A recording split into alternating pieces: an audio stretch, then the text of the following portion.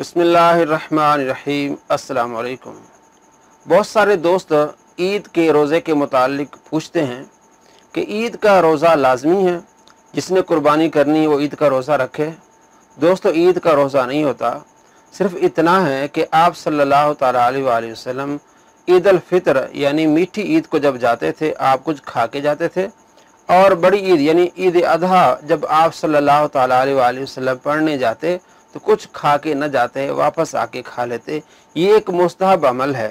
تو عوام میں یہ مشہور ہے کہ عید کا روزہ، اس کے متعلق بہت سارے دوستوں نے پوچھا۔ میں نے چاہا کہ پوری وضاحت کے ساتھ آپ کو بتایا جائے کہ عید کا روزہ نہیں ہوتا۔ یہ ایک مستحب عمل ہے۔ ترمیدی شریف میں حدیث ہے، حدیث نمبر پانچ سو بیالیس۔ حضرت عبید اللہ بن بریدہ رضی اللہ تعالیٰ عنہ اپنے والد سے روایت کرتے ہیں۔ حسن حدیث ہے۔ کہ آپ صلی اللہ تعالیٰ علیہ وآلہ وسلم جب عید الفطر کو نماز پڑھنے کے لیے جاتے تو کچھ کھا کے جاتے۔ ولا یتام یوم الاضحیٰ جب عید اضحیٰ، قربان، عید قربان کی طرف جاتے نماز پڑھنے کے لیے حتیٰ یوسلی کچھ کھا کے نہ جاتے یہاں تک کہ آپ نماز نہ پڑھ لیتے۔ یعنی نماز پڑھنے کے بعد آپ صلی اللہ تعالیٰ علیہ وآلہ وسلم آ کے قربانی دیتے اور آپ صلی اللہ تعالیٰ علیہ وآلہ وسلم قربانی کے گوشتے کھا لیتے۔ یہ ایک مستحب عمل امام ترمیزی کہتے ہیں، وقد استحب قومن من اہل علم اہل علم نے اس فعل کو مستحب جانا ہے کہ اللہ یا خروجہ یوم الفطری حتیٰ یتعم شعین جب عید الفطر پڑھنے کے لیے جائے تو کچھ کھا کے جائے، یہ مستحب عمل ہے۔ وَيُسْتَحَبُّ لَهُ ان یفترا علی تمرین اور مستحب یہ ہے کہ کھجوریں کھا کے جائے۔ ولا یتعم یوم الاضحیٰ اور عید اضحیٰ، عید قربان کو کچھ نہ کھا جائے، حتیٰ یرج یہاں تک واپس نہ لوٹے۔ یہ مستحب عمل ہے۔ اگر کسی نے کھا لیا تو کوئی گناہ نہیں ہے۔ مستحب عمل کرے گا تو ثواب ہی نہیں کرے گا تو گناہ نہیں۔ مستحب کی یہی تعریف ہے کہ کرے گا تو اس کو ثواب ملے گا۔ کسی نے مشقت والا کام کیا، اس کو ضرورت ہے۔ تو اس کو ہم یہ نہیں کہیں گے کہ مت کھا۔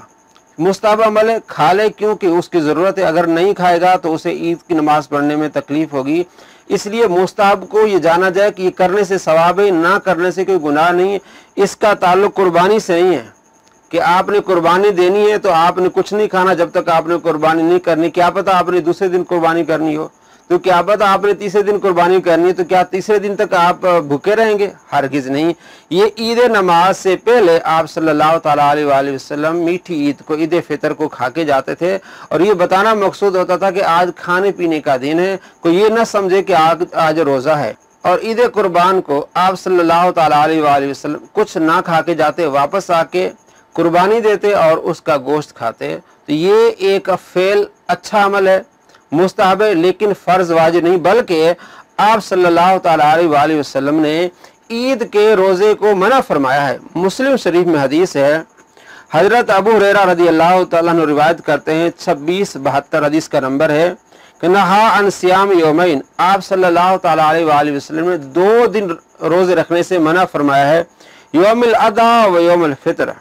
عید قربان کے دن اور عید فطر۔ یہ دو دن فطر اور عید اضحیٰ، ان دو دنوں میں روزہ رکھنے سے منع فرمایا۔ اسی طرح حدیث نمبر چھبیس، چوہتر، حضرت ابو سعید خدری رضی اللہ تعالیٰ فرماتے ہیں کہ آپ صلی اللہ تعالیٰ علیہ وآلہ وسلم یوم نہر اور یوم فطر، عید فطر اور عید نہر اور عید قربان کو آپ صلی اللہ تعالیٰ علیہ وآلہ وسلم نے روزہ رکھنے سے منع فرمایا ہے۔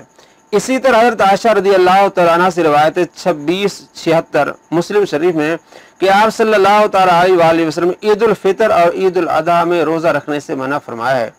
اور ایک اور حدیث سے آپ صلی اللہ تعالیٰ علیہ وآلہ وسلم سے چھبیس ستتر، آپ صلی اللہ تعالیٰ علیہ وآلہ وسلم ایام التشریقی ایام اقل و شربن تشریق کے دن کھانے اور پینے کے دن۔ تشریق کے دن ہوتے دس، ضلع دس، گیارہ، بارہ اور تیرہ۔ چار دن یہ کھانے پینے کے دن، چار دن یہ اور ایک دن عید الفطر کا۔ پورے سال میں پانچ دن جو ہے یہ روزہ رکھنا منع ہے۔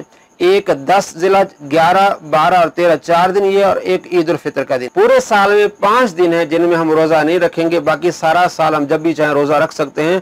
تو آپ صلی اللہ تعالیٰ علیہ وآلہ وسلم کی عمل ہے، یہ مستحب عمل ہے کہ اگر آپ کچھ کھا کے جاتے ہیں عید الفطر سے پہلے تو یہ مستحب ہے۔ اگر نہیں کھا کے جاتے تو کوئی گناہ نہیں۔ اسی طرح عید الاضحیٰ سے پہلے کچھ نہیں کھا کے جاتے، یہ مستحب ہے۔ اگر آپ کو ضرورت ہے، آپ کھا سکتے ہیں، کوئی گناہ نہیں۔ اور اس کا تعلق قربانی سے نہیں ہے۔ یہ صرف عید کی نماز تک ہے کہ آپ صلی اللہ تعالیٰ علیہ وآلہ وسلم عید کی نماز سے پہلے یوم الفطر یعنی عید فطر، میٹھی عید سے پہلے آپ کچھ کھا کے جاتے تھے، یہ مستحب ہے۔ اور بڑی عید یعنی عید قربان سے پہلے کچھ نہ کھا کے جاتی ہے۔ واپس آ کے آپ صلی اللہ تعالیٰ علیہ وآلہ وسلم تناول فرماتے، اس میں کوئی روزہ نہیں ہے، یہ صرف عید کی نماز تک یہ عمل ہے۔ تو اس چیز کو آپ نے دیکھنا کہ یہ روزہ نہیں ہے اور نہ اس کا تعلق قربانی سے ہے۔ تو اگر آپ دوسرے دن قربانی کریں گے تب، تو کیا دوسرے دن تک آپ نہیں کھائیں گے؟ اگر آپ تیسرے دن قربانی کرنا چاہتے ہیں تو کیا آپ تیسرے دن تک آپ کچھ نہیں کھائیں گے؟ ہر کسی نہیں۔ یہ صرف نماز عید تک ہے کہ چھوٹی یعنی میٹھی عید کو آپ نے کچھ کھا کے جانا، اس لیے اس کو میٹھی عید کہتے ہیں۔ اور بڑی عید یعنی عید قربان کو کچھ نہ کے نہ کھا کر جانا، یہ مستحب ہے۔ اگر کوئی کھا کے جائے گا، کوئی گناہ نہیں ہے، کوئی ایسی بات نہیں ہے کہ اس کی قربانی کوئی مسئلہ، قربانی میں کوئی مسئلہ ہوگا، تو اس بات کی وضاحت کرنی تھی۔ دوستوں کو بتانا تھا کہ جب ضرورت ہو تو آپ کھا سکتے کوئی گناہ نہیں ہے۔ اللہ تبارک و تعالی عمل کی توفیق نصیب فرمائے اور دین متین کو سمجھنے کی توفیق نصیب فرمائے۔ السلام علیکم ورحمۃ اللہ وبرکاتہ۔